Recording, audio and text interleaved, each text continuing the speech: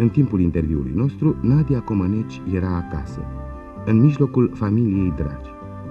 Alături de părinții ei, Adrian și Alexandrina Comăneci, și lângă frățiorul drag, Gheorghe Comăneci, Nadia, cu simplitatea ce o caracterizează, trăia din nou bucuria succesului. Atmosferă pe care nu vrem să o deranjăm, traducând-o în graiul reportericesc. Imaginile vor vorbi de la sine.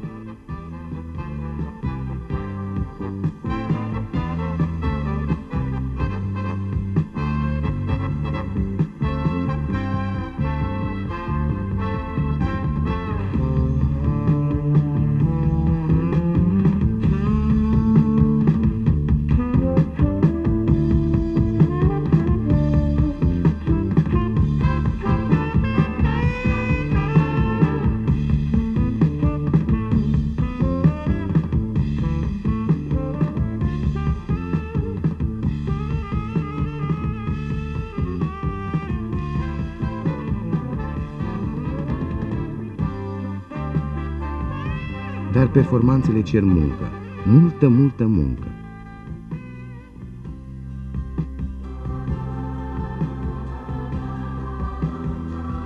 Nadia și cei doi antrenori, Marta și Bela Caroi, nu puteau lipsi din sala de gimnastică, acolo unde, în acel moment, se lucra intens, acolo unde se făuresc marile performanțe, la școala dărzeniei, a disciplinei, dar și a poeziei.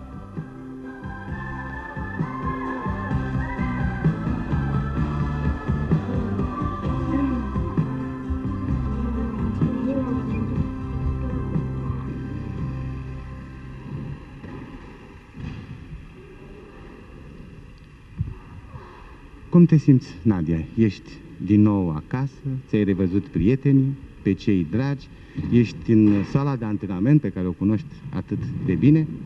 Am impresia că de-abia ai așteptat această clipă, nu? Vrei să te antrenezi? Da, vreau foarte mult să mă antrenez, mie îmi place foarte mult. Uh, simt că atunci când mă antrenez, parcă mă joc. Tovarășul profesor Caroliț a făcut cunoscut programul de antrenament, mai bine zis de reacomodare. Ce vei face astăzi? Astăzi o să fac o mică acomodare pentru că am, după campionate am Un venit program așa mai relaxat, mai ușor. Da. Și la ce aparat lucra? la bârnă. E, Dar care este totuși aparatul care îți place ție cel mai mult și mai mult? Cel mai mult îmi place paralelul. De ce? Pentru că acolo am învățat uh, cele mai multe elemente și uh, ex- uh, am executat și execut uh, trei elemente în premieră. Grele. Da, Și astea îți dau satisfacție. da, Simți că le faci foarte bine și ești foarte mulțumit. da, le fac, dar mai am de lucrat la ele. Îți place foarte mult gimnastica? Da, mie îmi place foarte mult gimnastica pentru că, după mine, mi se pare cel mai frumos sport. Vrei să ne spui acum, așa ca între adevărați prieteni, ți-a fost teamă la campionatele europene? Nu, n-am avut deloc emoții. Eu era, am fost foarte sigură pe exercițiile mele, am muncit foarte mult la ele și eram sigură că o să-mi reușească. Și de care aparat ți-a fost cel mai mult teamă? Nu mi-a fost teamă de niciuna. De niciunul? Nu. Dar de concurentele adverse. Nu, nu mi-a fost teamă nici de ele.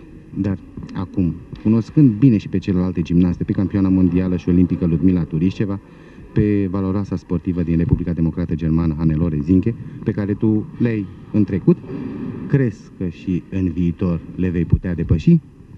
Da, cred că și în viitor le vei putea depăși. Știți, dar e primul meu interviu și am emoții. Uh, Voi lucra la aparate și exercițiile mele vor vorbi în locul meu.